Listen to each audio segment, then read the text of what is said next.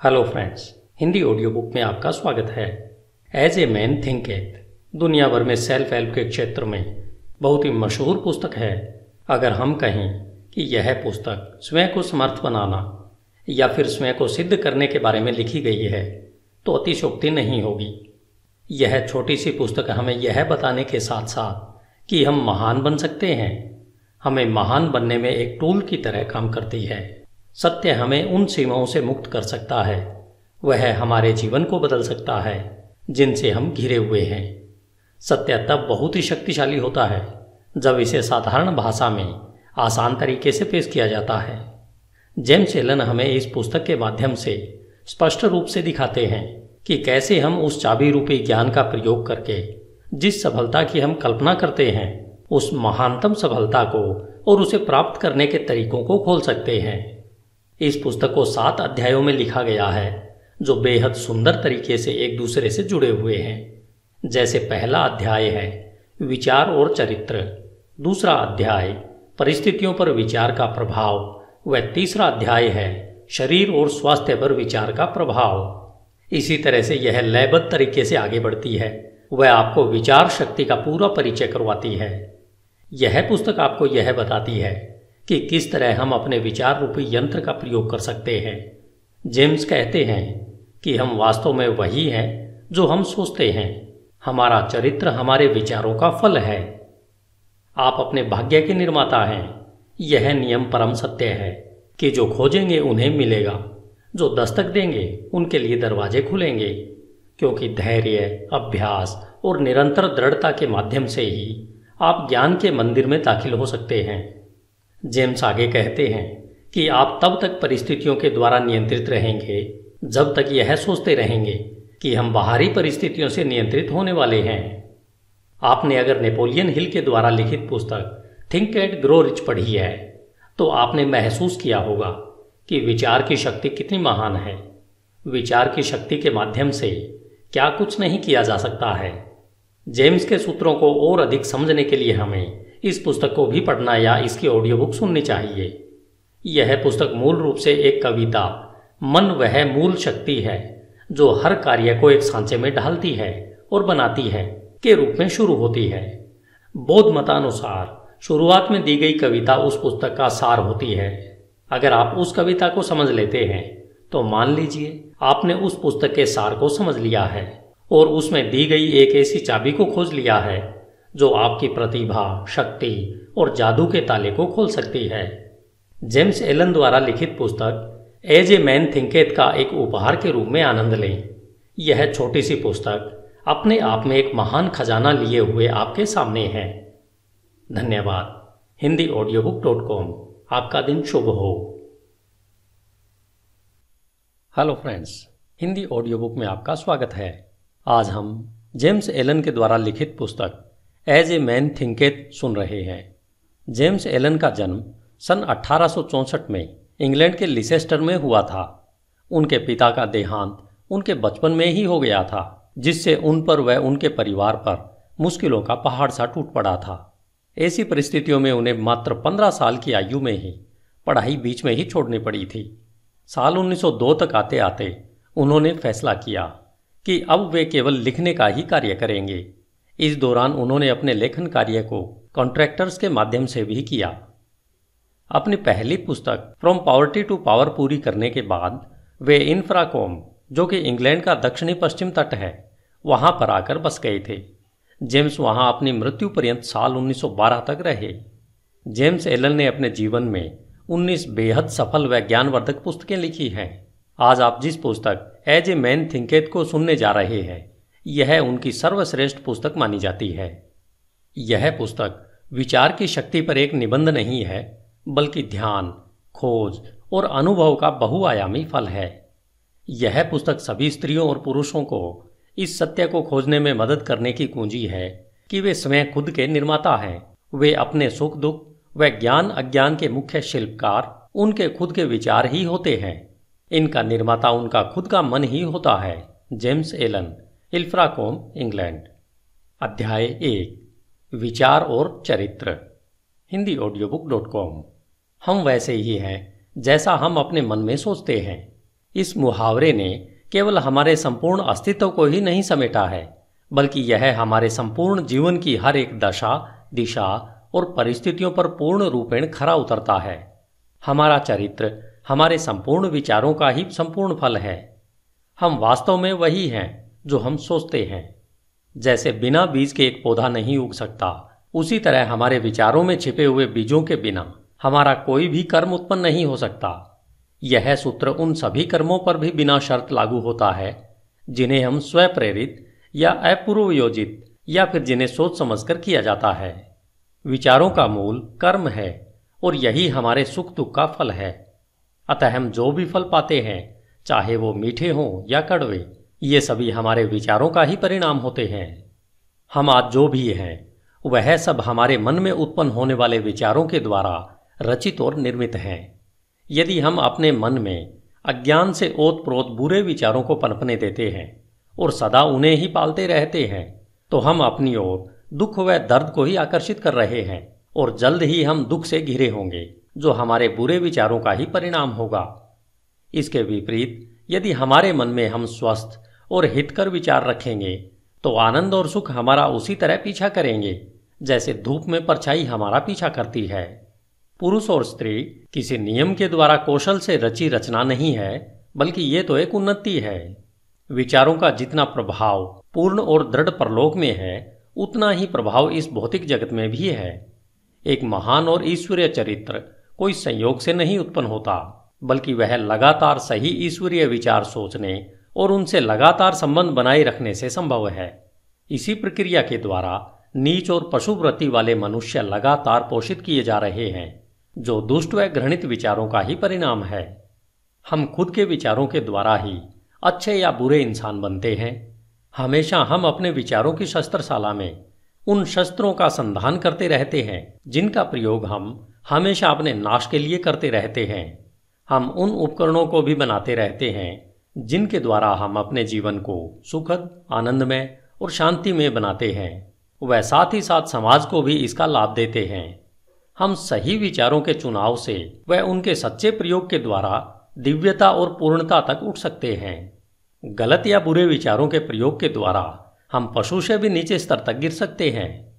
इन दोनों चरम चरित्रों के बीच में ही सभी चरित्र स्तर होते हैं, जिनके निर्माता, कारीगर, पालक व स्वामी हम स्वयं होते हैं।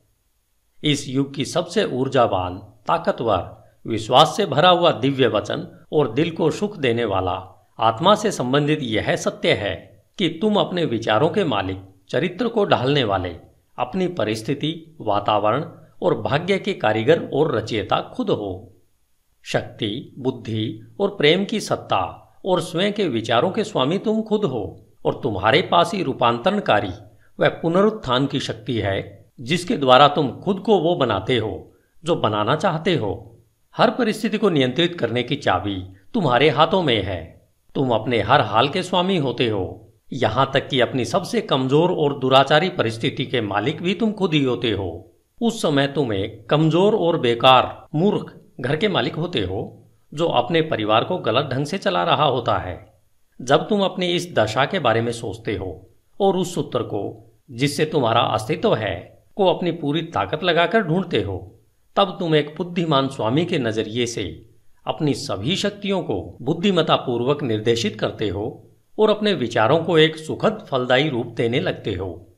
इसे ही एक बुद्धिमान व जागरूक मालिक कहते हैं, जो अपने विचारों के नियमों को खोजकर अपने जीवन को सही दिशा देता है।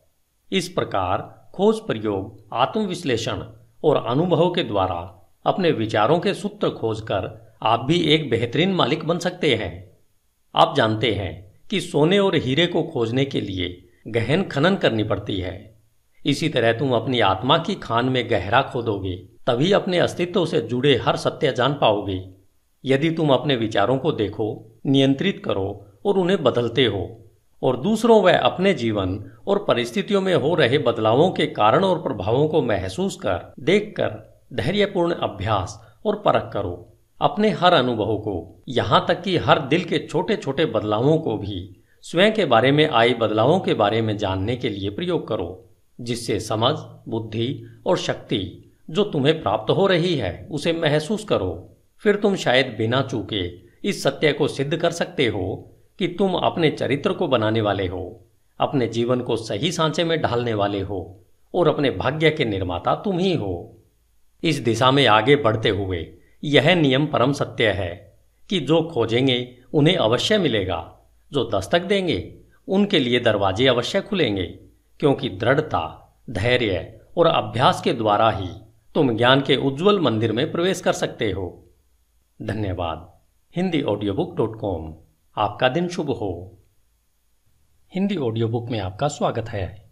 अध्याय दो, परिस्थितियों पर विचार का प्रभाव। आप अपने मन को एक बगीचे के समान समझकर या तो उसे बुद्धिमानी से जोत सकते हैं, या फिर उसे लापरवाही से अपने आप बढ़ने दे सकते हैं। परंतु उसे चाहे जोता जाए, या उसे खाली छोड़ा जाए, या उसकी उपेक्षा की जाए, उसमें कुछ न कुछ उगेगा ज़रूर। या कहें, कुछ न कुछ फलीभूत अवश्य होगा।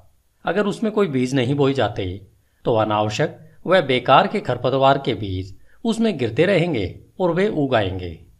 एक माली अपने बगीचे में अनावश्यक खरपतवार को समय समय पर निकालता रहता है और उसमें वही फल फूल और पेड़ पौधे आदि लगाते हैं, जिसकी माली को चाह होती है या कहीं आवश्यकता होती है। हमें भी अपने मन रूपी बगीचे को एक माली की तरह लगातार देखभाल करते रहना चाहिए। अशुद्ध, बेकार, अनावश्यक और अनुचित विचारों को पहचान कर अपने मन से निकाल फेंकना चाहिए। वह आवश्यक, शुद्ध, उपयोगी और उत्पादक विचारों को फलों और फूलों की तरह सहेज कर उनकी उचित प्रकार से देखभाल करते रहना चाहिए। इस प्रक्रिया का पालन करते हुए उचित समय अवधि में आप जान पाओगे कि आप ही अपनी आत्मा के प्रमुख माली और रक्षक हो। आप ही अपने जीवन के निर्देशक हो।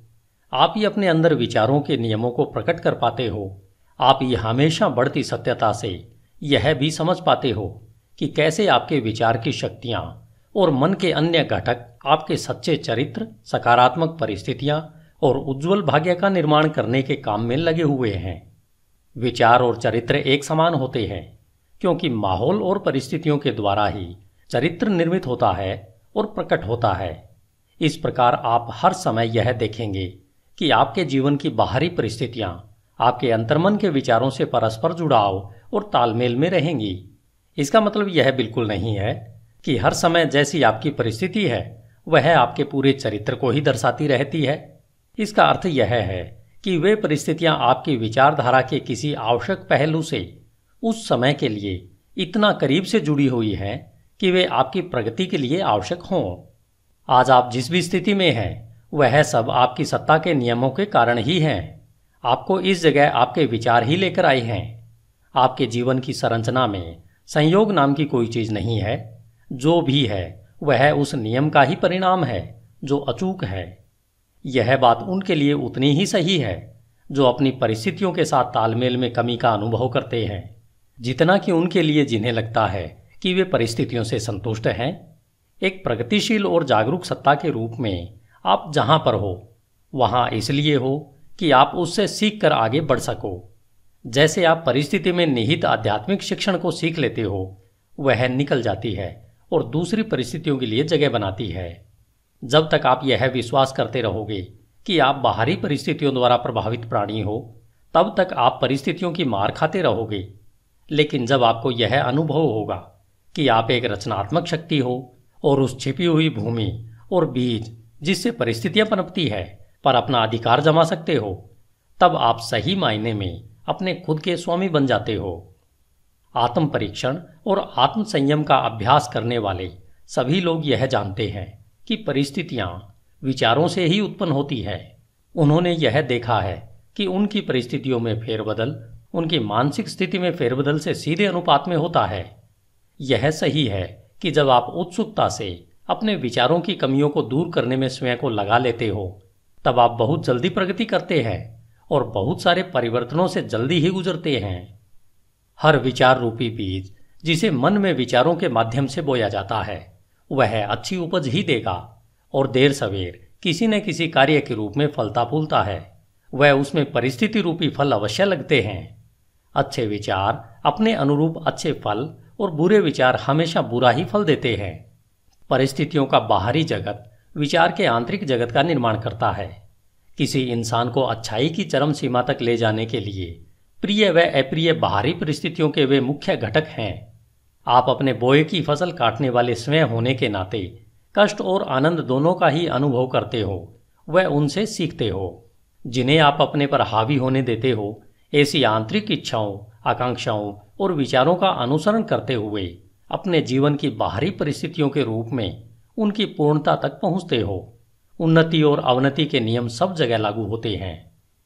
कोई भी व्यक्ति जब अवनति के निचले स्तर पर या जेल जाता है तो परिस्थिति की क्रूरता के कारण नहीं, बल्कि अपने तुच्छ विचारों और निम्नतम इच्छाओं के द्वारा जाता है। एक सच्चे मन वाला व्यक्ति एकाएक ही किसी बाहरी शक्ति के दबाव में आकर अपराध से नहीं घिर जाता। उसके मन में आपराधिक सूक्ष्म विचार गुप्त रूप से पनप रहा होता है। जो अवसर मिलते ही अपनी पूरी शक्ति से प्रकट होता है। परिस्थितियाँ व्यक्ति को नहीं बनाती, बल्कि उस व्यक्ति का विचार जैसा है, उसके लिए वैसी परिस्थिति प्रकट करती है। सिवाय हमारे स्वयं के बुरे इरादों के, ऐसी कोई भी परिस्थिति नहीं होती, जो हमें बुराइयों या कष्ट की ओर नीचे ले जा सके। इसी प्रकार ऐसी भी कोई स्थिति नहीं हो सकती, जो हमारी बिना अच्छी और सफल आकांक्षाओं को निरंतर उपजाए, हमें पुण्य, सफलता और उससे जुड़े आनंद की ओर ऊपर न उठाए। इस प्रकार से हम यह जान जाते हैं कि अपने विचारों के स्वामी होने के नाते हम स्वयं को बनाते हैं, अपनी परिस्थितियों और वातावरण को आकार देते हैं और उसके रचयिता भी हम ही होते हैं। हम जो चाहते हैं उसे आकर्षित नहीं करते, बल्कि हम उसे अपनी ओर आकर्षित करते हैं, जो हम हैं। हमारी महत्वाकांक्षाएँ, हमारी पसंद और हमारी इच्छाएँ कदम कदम पर निष्फल होती रहती हैं। हमारे आंतरिक विचार और इच्छाएँ स्वयं की खुराक, जो चाहे अच्छा हो या बुरा, उसी के द्वारा पोषित होती है। वह दिव्यता जो हमें आकार देती है, वह हमारी आत्मा है, जो हमारे अंतर्मन में है। हम स्वयं के द्वारा ही बंदी बनाए गए होते हैं। हमारे स्वयं के विचार और कर्म हमारे भाग्य के जेलर हैं। यदि वे तुच्छ हैं तो हमें बंदी बनाते हैं, और अगर वे अच्छे हैं तो हमें मुक्त करते हैं। आपने कभी न कभी यह महसूस अवश्य किया होगा कि हमें वह नहीं मिलता जिसकी हम इच्छा करते हैं या जिसके लिए प्रार्थना करते हैं। लेकिन आपको पता है कि हमें वह मिलता है जो हम सही तरीके से कमाते हैं, क्योंकि हमारी इच्छाएँ और प्रार्थनाएँ तभी पूर्ण होती हैं जब वे हमारे विचारों और कर्म से तालमेल में होती हैं। इस दृष्टिकोण से देखें तो परिस्थितियों से लड़ने का हमारे जीवन में क्या अर्थ है? इसका सीधा सा अर्थ है कि हम हमेशा बाहरी प्रभावों से लड़ते रहते हैं। वह साथ ही साथ उसके कारणों को अपने मन में पोषित व संरक्षित करते रहते हैं। यह कारण या तो जागरूक बुराई या फिर अजागरूक कमज़ोरी का रूप धारण कर लेता है। लेकिन चाहे वह जो कुछ भी हो, वह धारण करने वाले के प्रयत्नों को दृढ़ता से रोकता है और किसी हल को खोजने को मजबूर करता है। हम में से ज़्यादातर लोग अपनी परिस्थितियों में सुधार लाना चाहते हैं, परंतु स्वयं में बिल्कुल भी सुधार नहीं लाना चाहते। और इसलिए हम बंधन में रहते हैं। यदि हम सच्चे आत्म परीक्षण से मुँह नहीं छिपाएँ तो हम कभी भी वह पाने से वंचित नहीं होंगे जो हमारा दिल चाहता है। यह सभी भौतिक विषयों के लिए उतना ही सही है, जितना कि दैवी विषयों के लिए। यदि हम केवल संपत्ति प्राप्त करना चाहते हैं तो अपने लक्ष्य को पाने से पहले हमें अपने महान व्यक्तिगत त्याग करने के लिए तैयार होना चाहिए, और हम में से वे सशक्त और शांत जीवन चाहते हैं। उनके लिए तो कितना और कुछ करना होगा। कुछ लोग जो गरीबी से बाहर निकलना चाहते हैं, वे हमेशा इस बात के लिए व्याकुल रहते हैं कि उनके आसपास का माहौल और घरेलू सुख सुविधाएँ सुधरने चाहिए। लेकिन इन परिस्थितियों को बदलने के लिए किए जाने वाले काम से जी चुराते रहते हैं। वे मानते हैं कि अपने मालिक जहाँ वे काम करते हैं, उसे धोखा देते रहते हैं, क्योंकि उन्हें लगता है कि उन्हें बहुत कम तनख्वाह मिलती है। इसलिए वे जो कर रहे हैं, वह सही है। ये लोग इस साधारण से मूलभूत सिद्धांत को नहीं समझ पा रहे हैं, जो कि सच्ची समृद्धि का आधार है और न केवल अपनी गरीब स्थिति से बाहर निकलने के लिए योग्य हैं, बल्कि बुरी परिस्थितियों के बारे में सोच सोच कर उसे वास्तव में अपने जीवन में आकर्षित कर लेते हैं। ऐसे लोग कमज़ोर, आलसी और हमेशा भ्रमित विचारों में जी रहे होते हैं। कुछ अमीर लोग हैं जो पेटूपन की वजह से लगातार दर्दनाक बीमारियों से ग्रस्त हैं। वे इन बीमारियों से छुटकारा पाने के लिए ढेर सारा पैसा खर्च तो करना चाहते हैं, परंतु ज़्यादा खाने की आदत को बदलने के लिए तैयार नहीं है। वे ज़्यादातर चटपटे और मज़ेदार खाने की अपनी इच्छा को हमेशा संतुष्ट करना चाहते हैं और अच्छा स्वास्थ्य भी चाहते हैं। ऐसे लोग अच्छे स्वास्थ्य के लिए अयोग्य हैं, क्योंकि उन्होंने स्वस्थ जीवन के पहले सिद्धांत को अभी तक नहीं सीखा है। कुछ मालिक हैं जो गलत रास्ते से धन कमाकर अमीर, और ज़्यादा अमीर होना चाहते हैं, जिसके लिए वे चालाकी से सही वेतन न देकर ज़्यादा काम करवाना चाहते हैं। ऐसे मालिक समृद्धि के बिल्कुल योग्य नहीं है। जब इनका प्रतिष्ठा और समृद्धि दोनों ही मामलों में दिवाला निकल जाता है, तब ये लोग परिस्थितियों को दोष देते रहते हैं। लेकिन वे यह नहीं जानना चाहते कि अपनी इस परिस्थिति के वे ही पटकथा लेखक हैं। ये तीन उदाहरण मात्र इस सत्य को बताने के लिए कहे गए हैं कि लोग अपनी परिस्थितियों को बिना जाने, निरंतर उन विचारों और इच्छाओं को प्रोत्साहित कर रहे हैं, जो उन अच्छे फल से संभवतः तालमेल नहीं खाते हैं, जो वे चाहते हैं। वे ऐसा करते हुए अच्छे फल को निरंतर निष्फल कर रहे हैं। ऐसे किस्से कई गुना बढ़ सकते हैं और निरंतर चल सकते हैं, लेकिन इसकी आवश्यकता नहीं है। यदि हम दृढ़ निश्चय कर लें कि हम अपने मन और जीवन में विचार के नियम के क्रम को खोजेंगे, और जब तक ऐसा नहीं होगा, तब तक केवल बाहरी तथ्य, तर्क के लिए पर्याप्त नहीं हो सकता। परिस्थितियाँ फिर भी इतनी जटिल है, विचार इतना गहराई से बैठा है, और व्यक्ति व्यक्ति में प्रसन्नता की अवस्था इतनी भिन्न है कि हमारी समस्त आत्मदशा, जो हमें पता है, केवल जीवन के बाहरी पहलू के तहत किसी के द्वारा आंकी नहीं जा सकती है। कोई व्यक्ति किन्हीं कार्यों में ईमानदार हो सकता है परंतु अभावग्रस्त है। जबकि दूसरा व्यक्ति कई कार्यों में बेईमान हो सकता है, फिर भी खूब संपत्ति हासिल करता है। और इसका अधिकतर मतलब निकाला जाता है कि कोई व्यक्ति इसलिए असफल होता है क्योंकि वह ईमानदार है, और दूसरा व्यक्ति इसलिए सफल है कि वह बेईमान है, और यह सतही निर्णय के फलस्वरूप होता है, जो यह मान लेता है कि बेईमान व्यक्ति लगभग पूरी तरह से भ्रष्ट है, और ईमानदार व्यक्ति लगभग पूरी तरह से पुण्यात्मा है। गहन ज्ञान और विस्तृत अनुभव के आधार पर यह निर्णय गलत माना जाता है। बेईमान व्यक्ति में भी कुछ ऐसे प्रशंसनीय गुण हो सकते हैं, जो दूसरों में नहीं है, और ईमानदार व्यक्ति में कुछ ऐसे दुर्गुण हो सकते हैं, चाहे सूक्ष्म ही क्यों न हो, जो दूसरों में नहीं होते हैं। ईमानदार व्यक्ति अच्छे विचारों और कर्मों के कारण अच्छा फल पाते हैं, परंतु अपने दुर्गुणों के कारण कष्ट का भी अनुभव करते हैं। बेईमान व्यक्ति उसी तरह से कष्ट या हर्ष का अनुभव करता है। मानव अहम को यह मानना अच्छा लगता है कि व्यक्ति अपने सद्गुणों के कारण कष्ट में होता है। परंतु जब तक हम अपने मन से हर रोगी, कटु और अशुद्ध विचार को निकाल नहीं फेंकते हैं और अपनी आत्मा से हर अस्वस्थ दाग को साफ़ नहीं कर देते हैं, तब तक हम उस स्थिति में नहीं हो सकते हैं, जहाँ हम यह जान पाए और घोषित कर पाए कि हमारा कष्ट हमारे बुरे विचारों के कारण है, न कि हमारे अच्छे गुणों के फलस्वरूप है। उस परम पूर्णता के पथ पर पहुँचने से बहुत पहले हमें अपने जीवन और मन में कार्यशील उस महान नियम का पता चल जाएगा, जो पूर्णतः न्याय संगत है, जो बुरे के बदले अच्छा या अच्छे के बदले बुरा नहीं देगा। जब हमें ऐसा ज्ञान होता है, तब हम यह जान पाते हैं, अपने पूर्ण के अज्ञान और अंधेपन को देखते हुए, कि हमारा जीवन अभी और सदा से ही न्याय संगत रहा है। हमारे पूर्व के सारे अच्छे या बुरे अनुभव हमारे विकसित होते हुए, फिर भी अविकसित आत्मा के ही उचित परिणाम है। अच्छे विचार और कर्म कभी भी बुरे परिणाम नहीं दे सकते, और इसके विपरीत भी इतना ही सही है कि बुरे विचार और कर्म कभी अच्छे सुखद परिणाम नहीं दे सकते। हम प्रकृति जगत में इस नियम को भली भांति जानते हैं और समझते हैं। वह इसके अनुसार काम भी करते हैं कि आम के बीच से आम का पेड़ ही उगेगा, और बबूल के बीच से केवल बबूल का पेड़ ही उगेगा, और वैसे ही फल देगा। लेकिन कुछ ही इसे मानसिक व नैतिक जगत में समझते हैं, जबकि हमारे विचारों के मामले में भी यही नियम लागू होता है। वहाँ भी यह उतना ही सहज व अटल है। इसे न समझने पर हमें परेशानी उठानी पड़ती है, और तब ये नियम हमारी इच्छाओं के अनुरूप सहयोग नहीं देते हैं। कष्ट व पीड़ा गलत दिशा में लगाए गए गलत विचारों का प्रभाव है। यह एक संकेत है कि हमारा अपने आप से, अपने अस्तित्व के नियम से तालमेल नहीं रहा है। कष्ट का एकमात्र और उच्चतम कार्य है शुद्धि करना। वह सब जो बेकार और अशुद्ध है, उसे जला देना। वे जो शुद्ध हैं, उनके लिए कष्ट खत्म हो जाते हैं। एक बार जब सोने से मैल हट जाता है तो उसे जलाते रहने का कोई मतलब नहीं होता है। और इसी तरह से पूर्ण रूपेण शुद्ध व साक्षात्कारी पुरुष कष्ट में नहीं रहता।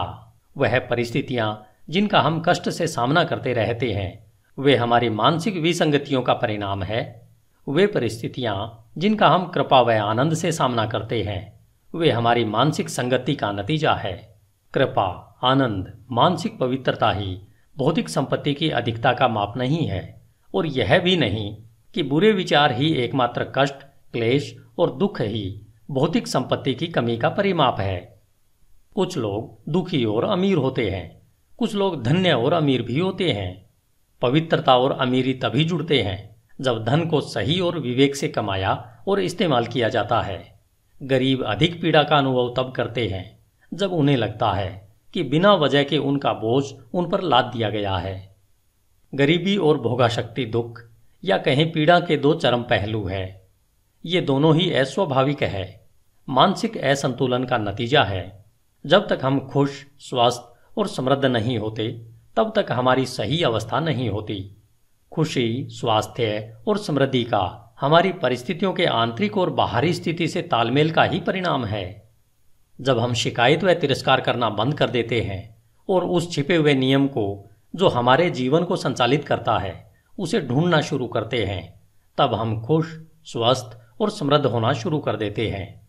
और एक, जब हम अपने मन में उस संचालित करने वाले घटक को अपना लेते हैं, तब हम दूसरों पर अपने कष्ट का कारण होने का आरोप लगाना बंद कर देते हैं और हम सशक्त और स्वस्थ विचारों को अंतर्मन में बढ़ाने लगते हैं। हम परिस्थितियों पर चीखना चिल्लाना बंद कर देते हैं। वह अपनी तीव्र प्रगति के लिए अपने अंदर छिपी हुई शक्तियों और संभावनाओं को खोज करके एक साधन के रूप में प्रयोग करना शुरू कर देते हैं।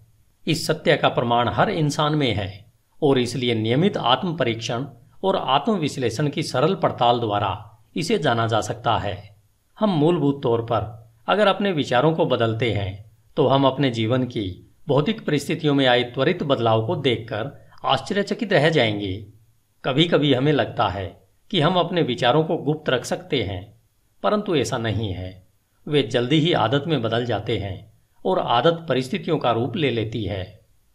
बुरे और निम्न स्तर के विचार आक्रोश और नशे की आदत बनाते हैं, जो पीड़ा, कष्ट और गरीबी का रूप लेते हैं।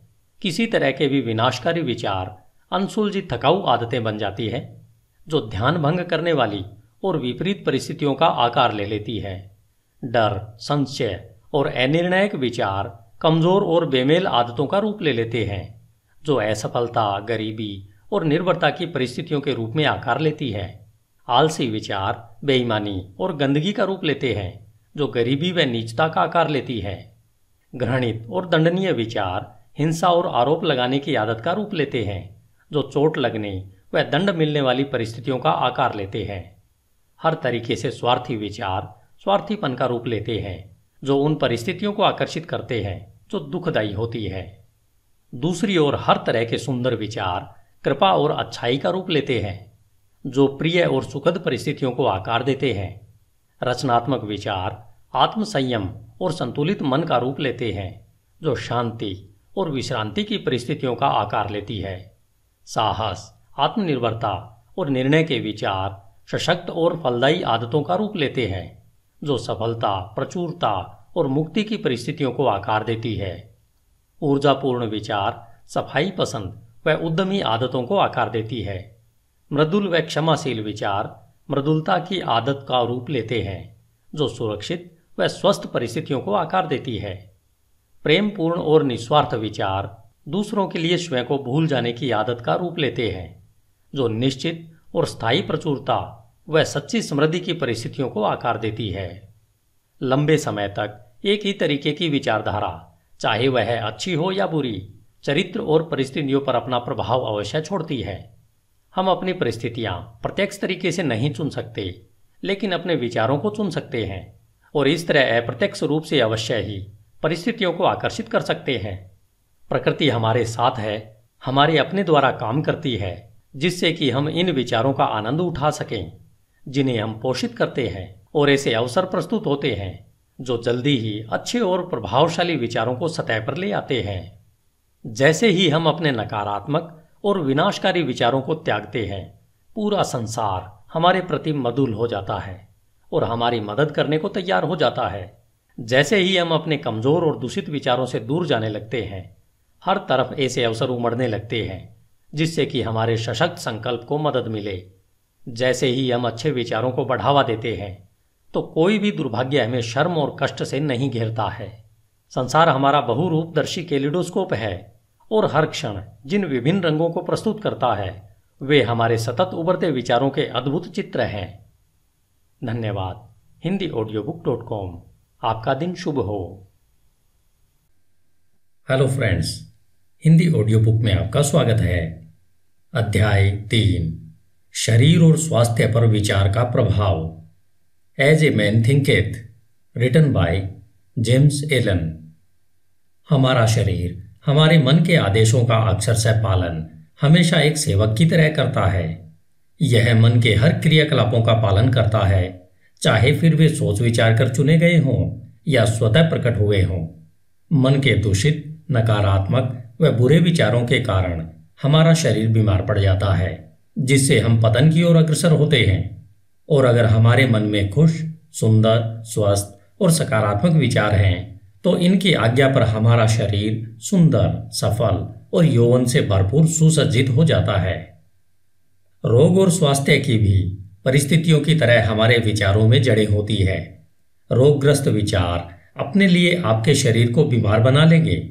समय समय पर हुई रिसर्च में यह पाया गया है कि डर के विचार व्यक्ति को उतनी ही जल्दी मार डालते हैं जितनी जल्दी एक बंदूक की बुलेट।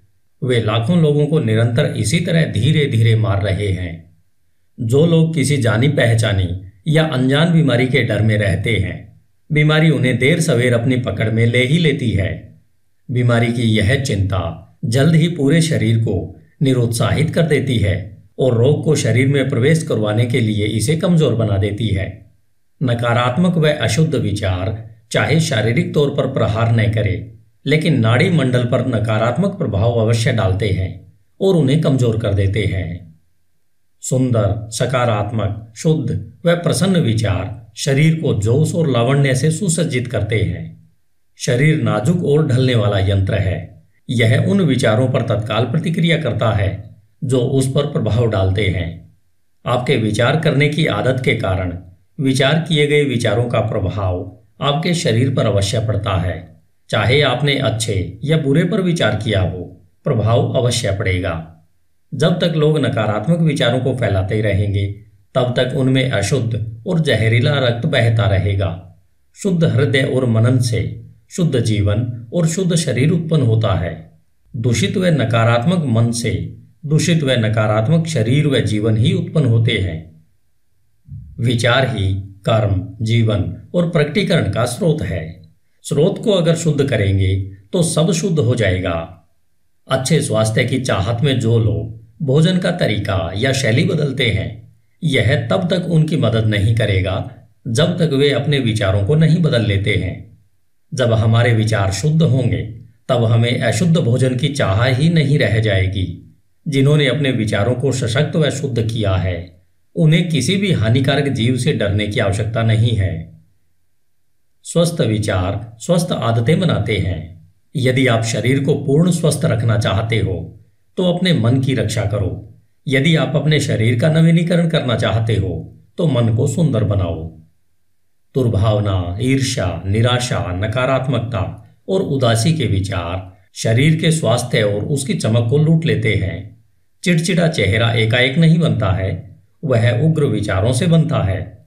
झुरियाँ जो चेहरे पर खराब दिखती हैं, वे मूर्खता, पीड़ा और घमंड के कारण उत्पन्न होती है। आप अवश्य ही किसी न किसी ऐसे बूढ़े चेहरे को जानते होंगे, जो तेजस्वी और एक छोटे बच्चे की तरह मुस्कुराहट के साथ चमक से भरा हुआ होगा। और ऐसे चेहरे भी आप अवश्य देखते होंगे, जो निराशा की झुर्रियों के कारण उम्र से पहले ही बूढ़े दिखाई देने लगे होंगे। एक चेहरा खुशी व सकारात्मकता का, व दूसरा चेहरा नकारात्मकता व बुरे निराशाजनक विचारों का परिणाम है। एक सशक्त शरीर, चमकीला, खुश और शांत चेहरा तब तक ही रह सकता है, जब तक आप अपने मन में हर्ष, सद्भावना और शांत विचारों को आने की खुली छूट देते हो। बुज़ुर्ग लोगों के चेहरों पर सहानुभूति की झुर्रियाँ होती है, जो सशक्त और शुद्ध विचारों से बनती है, लेकिन बहुत सी नकारात्मक भावनाओं द्वारा भी बनती है। इनमें हम तब तक फ़र्क नहीं कर सकते, जब तक उनके विचारों को न जान लें। जिन्होंने धर्मसंगत जीवन जिया है, उनका जीवन एक अस्त होते सूर्य की तरह शांतिपूर्ण, स्तब्ध और मृदुल हो चुका होता है। हाल ही में मैंने एक दार्शनिक को उनकी मृत्यु सैया पर देखा। वो उम्र के अलावा बूढ़े नहीं थे। उनकी मृत्यु उतनी ही मीठी और शांतिपूर्ण थी, जितना उनका जीवन था। शारीरिक बीमारियों को दूर भगाने के लिए खुश दिल विचारों से अच्छा कोई डॉक्टर नहीं है। दुख और शोक की काली परछाई को हटाने के लिए सद्भावना जैसी तसल्ली देने वाली कोई चीज़ नहीं हो सकती। सदा दूसरों के बारे में बुरा सोचना, द्वेष रखना, शक करना और ईर्षा के विचार रखना ऐसा ही है जैसा स्वनिर्मित जेल में रहना। परंतु सबके बारे में अच्छा सोचना, सबके साथ खुश रहना, धैर्य के साथ यह सीखना कि उनमें केवल अच्छाई ही देखना, ऐसे निस्वार्थ विचार स्वर्ग की ओर ले जाते हैं। दिन प्रतिदिन हर प्राणी के प्रति शांति के विचार रखना आप में अद्भुत शांति लाएँगे। धन्यवाद। Hindi audio book dot com आपका दिन शुभ हो। As a man thinketh written by James Allen अध्याय चार विचार और उद्देश्य Hindi audio book dot com जब तक कोई भी विचार उद्देश्य के साथ नहीं जोड़ा जाता, तब तक कोई भी प्रतिभा पूर्ण उपलब्धि नहीं बनती। बहुत से लोग अपने उच्चतम विचार जीवन के सागर में दिशाहीन गति से बहने देते हैं। जीवन में विचारों की दिशाहीनता बहुत बुरी होती है। अगर जो लोग विपत्ति और विनाश से दूर रहना चाहते हैं तो उनको इस प्रकार बहने से स्वयं को रोकना होगा। जिनके जीवन में कोई मुख्य उद्देश्य नहीं होता, वे बहुत ही जल्दी तुच्छ चिंताओं, डर, परेशानियों और अपने प्रति दया रखने के भाव से ग्रस्त हो जाते हैं और ये सभी कमज़ोरी के लक्षण होते हैं। ये ठीक वैसे ही असफलता, अप्रसन्नता और कमी की ओर ले जाते हैं। जैसे सोच समझकर आयोजित किए गए अपराध होते हैं, क्योंकि कमज़ोरी शक्ति विकसित करने के ब्रह्मांड में टिक नहीं सकती।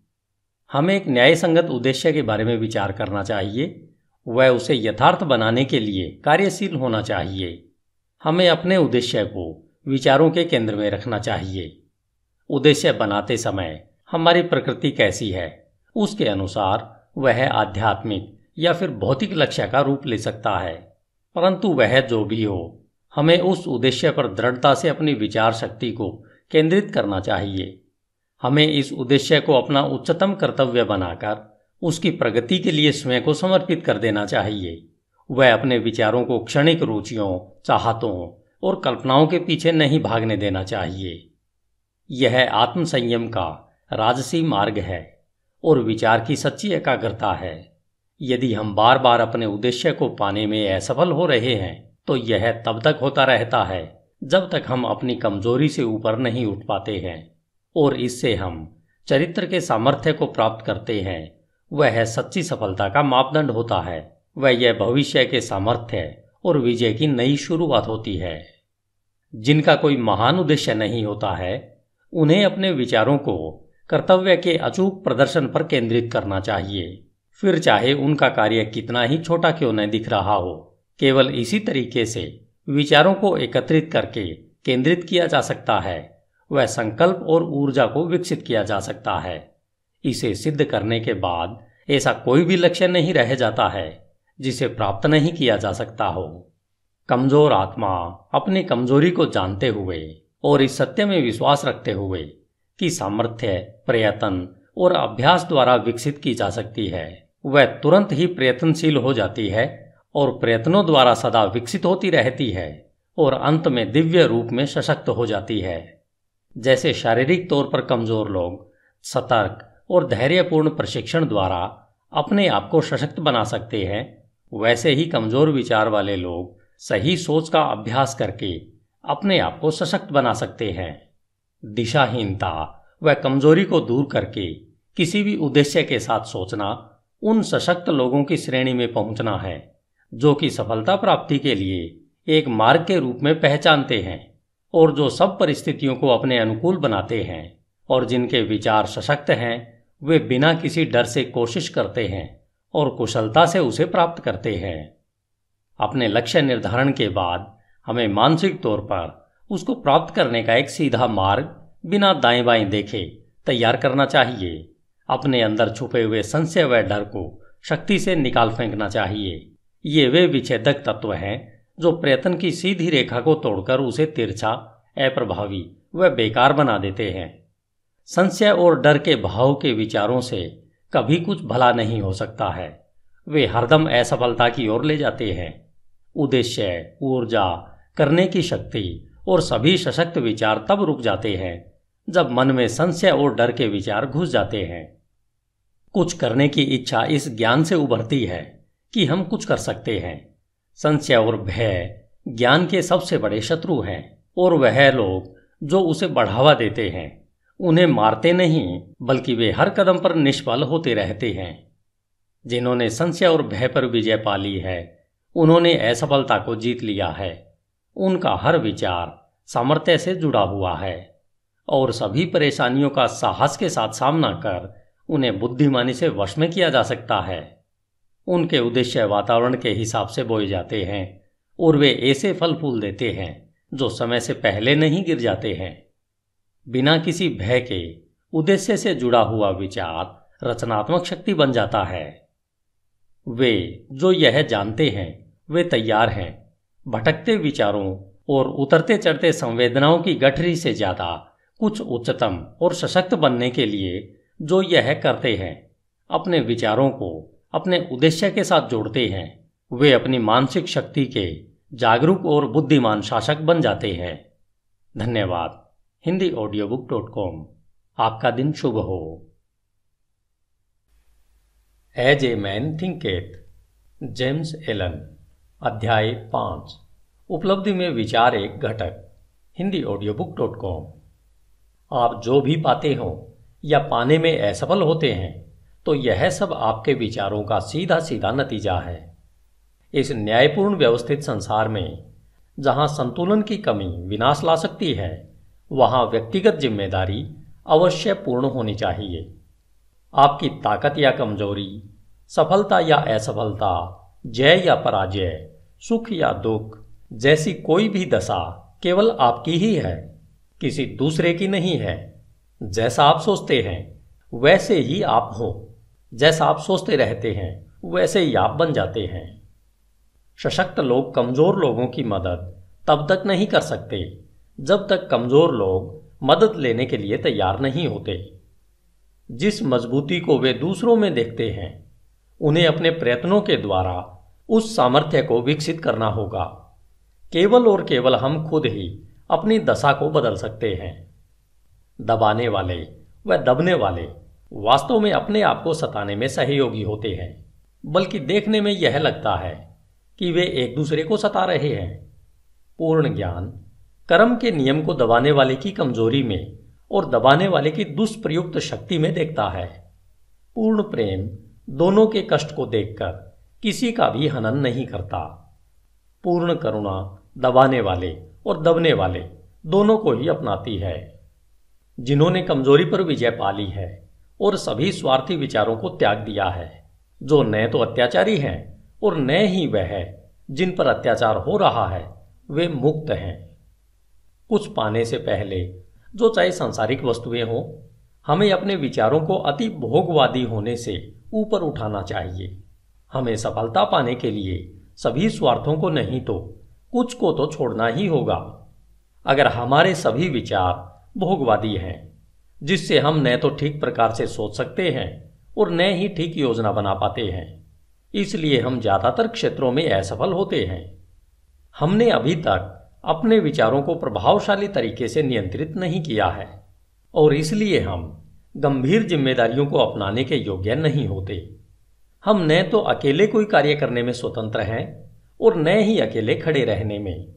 हमने जो विचार चुने हैं हम उनके द्वारा सीमाबद्ध हैं। बिना त्याग के न तो प्रगति हो सकती है, न कोई उपलब्धि मिल सकती है।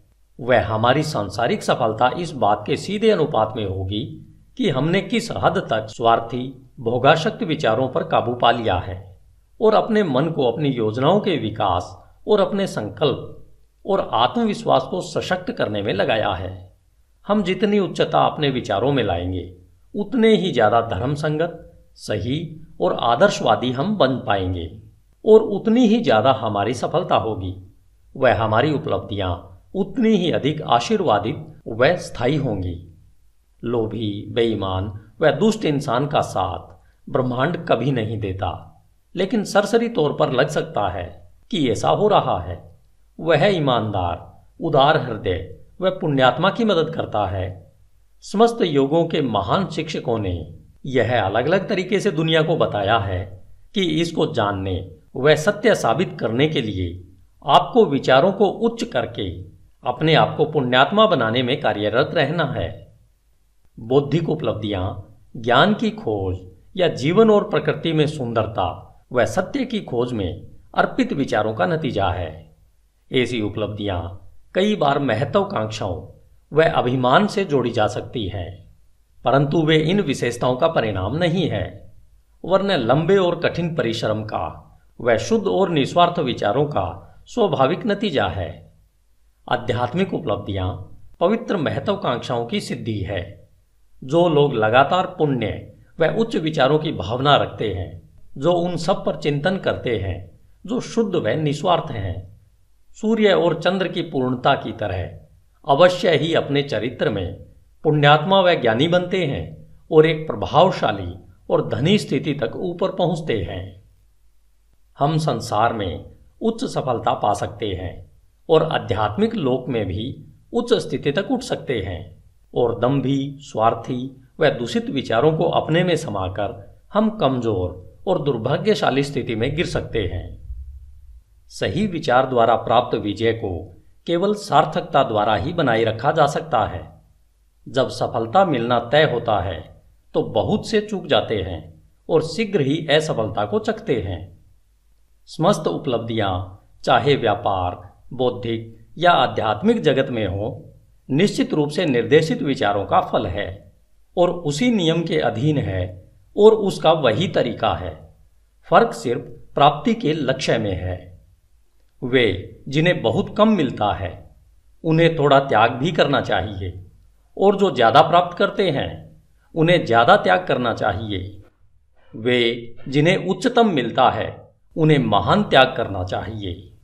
धन्यवाद। Hindi audio book dot com आपका दिन शुभ हो। As a man think James Allen अध्याय छ। परिकल्पनाएँ और आदर्श।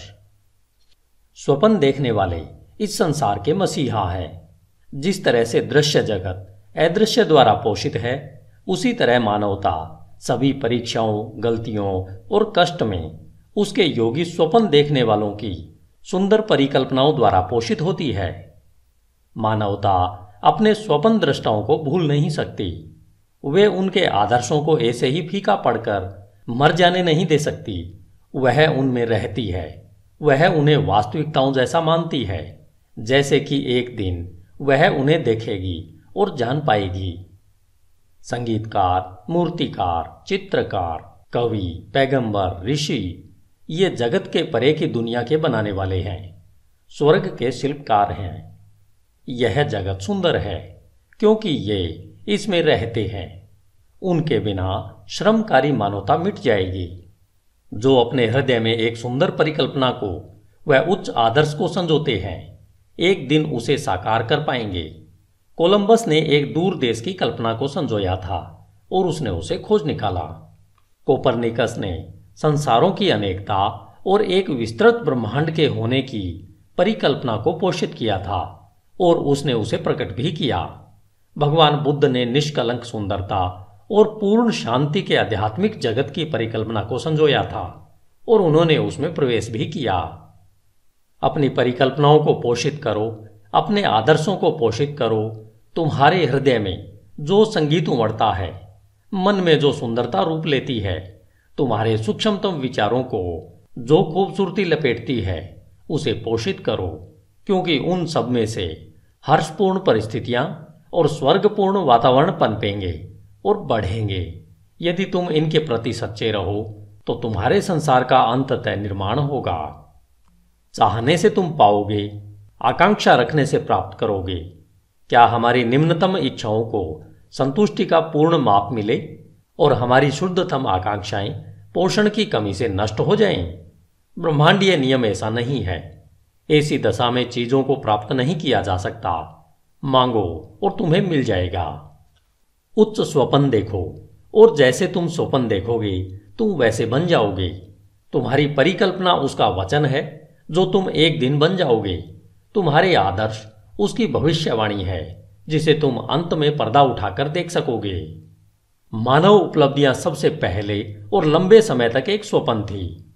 ओक का वृक्ष मंजू फल में छिपा होता है, चिड़िया अंडे में पलती है और आत्मा की उच्चतम परिकल्पना में जागृत देवदूत चलते हैं। स्वपन वास्तविकता के बीज हैं। तुम्हारी परिस्थितियाँ, हो सकता है प्रतिकूल हो परंतु वे ऐसा लंबे समय तक नहीं रहेंगी।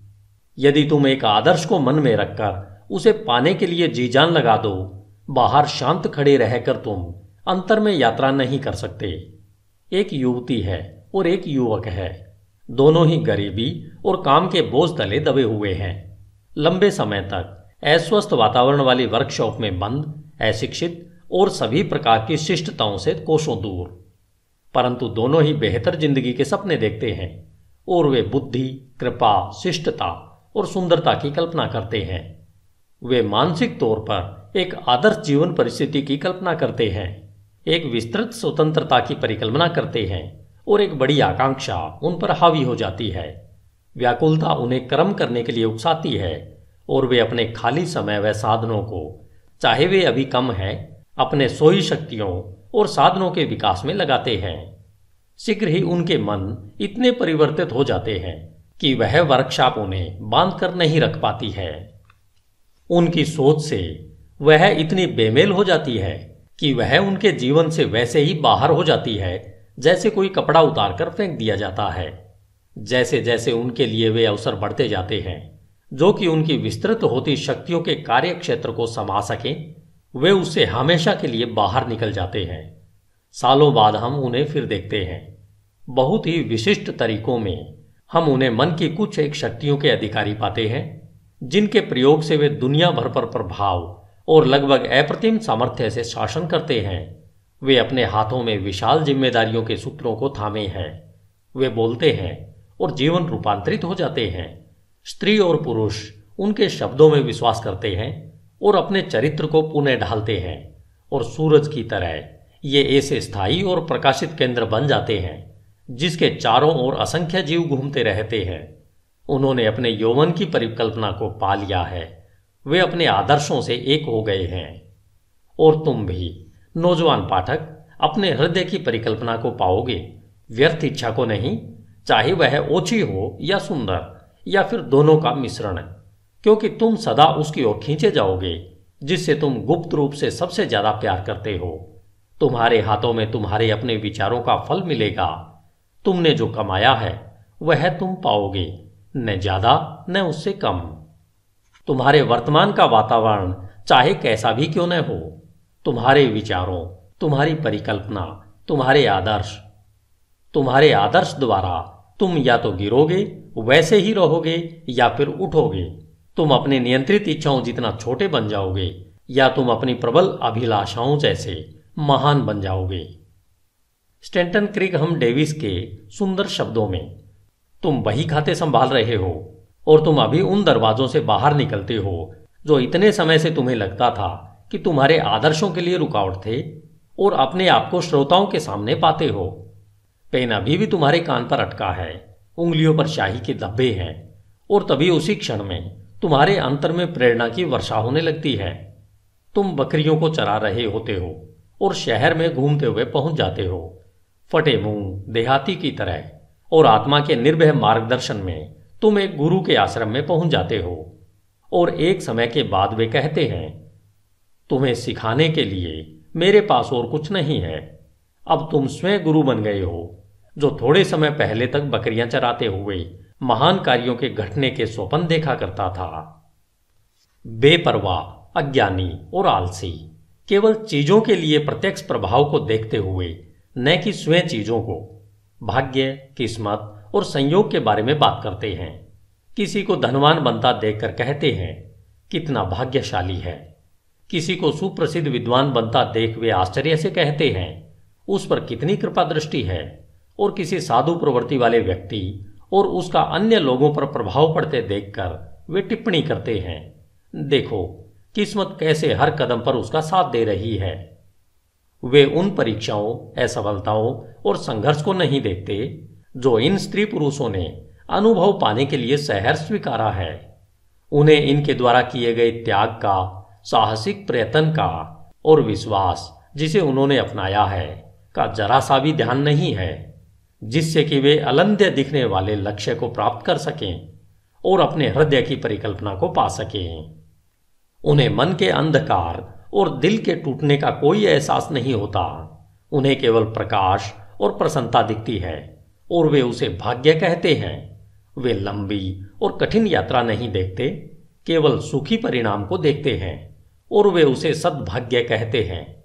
वे प्रक्रिया को नहीं समझते, केवल नतीजा देखते हैं। और उसे संयोग कहते हैं। हर मानव कार्य में प्रयत्न है और फल भी है। और प्रयत्न कितना सशक्त है, इसे फल से मापा जाता है। यह कोई संयोग नहीं है। कहे जाने वाले उपहार, शक्ति, भौतिक, बौद्धिक और आध्यात्मिक अधिकार प्रयत्न के हैं। वे पूर्ण किए हुए विचार हैं, प्राप्त किए हुए लक्ष्य हैं, साकार परिकल्पनाएँ हैं। वह परिकल्पना जिसकी तुम अपने मन में प्रशंसा करते हो वह आदर्श, जिसे तुमने अपने हृदय में विराजित कर रखा है, उससे तुम अपने को बनाओगे और यही तुम बन जाओगे। धन्यवाद। Hindi audio book dot com आपका दिन शुभ हो। As a man thinketh James Allen अध्याय सात, Prashanti. Hindi audio book dot com मन की शांति, ज्ञान का एक सुंदर मणि है। वह आत्मसंयम के लंबे और धैर्यपूर्ण प्रयत्न का नतीजा है। उसकी उपस्थिति, परिपक्व अनुभव का और नियम व विचारों के उच्च ज्ञान व कार्यकलाप का चिन्ह है। हम उसी मात्रा में शांत होते हैं, जितना हम विचार, विकसित अस्तित्व के रूप में स्वयं को समझते हैं। क्योंकि ऐसा ज्ञान विचार के फलस्वरूप निश्चित ही दूसरों को समझने की क्षमता रखता है और जैसे हम सही समझ को विकसित करते हैं और कारण व प्रभाव के आधार पर आंतरिक भावनाओं व विचारों को अधिक स्पष्टता से समझते हैं। हम चीखते चिल्लाते नहीं और चिंतित व दुखी नहीं होते हम संतुलित, वचनबद्ध और शांत रहते हैं। वे लोग जो शांत हैं, जिन्होंने स्वयं को नियंत्रित करना सीखा है, जानते हैं कि स्वयं को दूसरों के माफिक कैसे बनाया जाए और ये दूसरे बदले में शांत लोगों की आध्यात्मिक सामर्थ्य का सम्मान करते हैं। और यह सोचते हैं कि उससे सीख सकते हैं और उस पर भरोसा कर सकते हैं। जितने अधिक प्रशांत हम बन जाते हैं, उतनी अधिक हमारी सफलता, हमारा प्रभाव व अच्छाई के लिए हमारा सामर्थ्य होता है। उदाहरण के लिए, साधारण सी बिक्री करने वाले लोग भी जैसे जैसे अपने आत्मनियंत्रण और समभाव को बढ़ा देंगे, उनकी व्यावसायिक प्रचुरता बढ़ती जाएगी। क्योंकि लोग ऐसे लोगों के साथ ही काम करना पसंद करेंगे, जिनका व्यवहार अच्छा व स्थिर है। सशक्त और शांत लोगों को सदा सम्मान मिलता है वह उनसे प्यार किया जाता है। वे प्यासी भूमि में छांव देने वाले पेड़ या फिर तूफ़ान में पनाह देने वाली चट्टान की तरह होते हैं। शांत हृदय, मीठा स्वभाव व संतुलित जीवन किसे पसंद नहीं है? इससे कोई फ़र्क नहीं पड़ता कि वर्षा होती है या सूरज चमकता है, या इन आशीर्वादों को पाने वालों के जीवन में क्या परिवर्तन आते हैं? वे हरदम मधुर और शांत रहते हैं। वह चरित्र की विशिष्टता जिसे शांतता कहते हैं, संस्कृति का आखिरी सबक है। वह जीवन का फूलना है, आत्मा का फलना है। वह ज्ञान की तरह मूल्यवान है और उसकी सोने से भी ज़्यादा कामना करनी चाहिए। हाँ उत्कृष्ट सोने से भी ज़्यादा। पैसे को पाने की चाह कितनी तुच्छ लगती है। जब उसकी तुलना एक शांत जीवन, जो सत्य के सागर में, लहरों के नीचे, आंधी तूफ़ान की पहुँच से परे, शाश्वत शांति में बसता है। हम ऐसे कितने ही लोगों को जानते हैं, जो अपने जीवन को अप्रिय बना लेते हैं, जो अपने विस्फोटक गुस्से के कारण, वह सब, जो मधुर और सुंदर है, उसे तबाह कर देते हैं, जो अपने चरित्र की शिष्टता का नाश कर देते हैं और मन मुटाव पैदा कर देते हैं। यह एक प्रश्न है कि क्या बड़ी मात्रा में लोग अपने जीवन को तबाह नहीं करते हैं? और क्या वे नासमझी और आत्मनियंत्रण की कमी के कारण अपने जीवन की खुशियों को मार नहीं देते?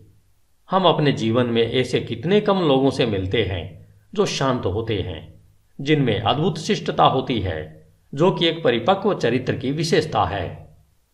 हाँ अनियंत्रित गुस्से से मानवता आवेश में आती है। अनियंत्रित दुख से उत्तेजित हो जाती है। व्यग्रता और संयम से प्रभावित होती है। केवल वे ज्ञानी, जिनके विचार नियंत्रित व शुद्ध हैं, आत्मा की तेज हवाओं और तूफानों व हवा को काबू में ला सकते हैं।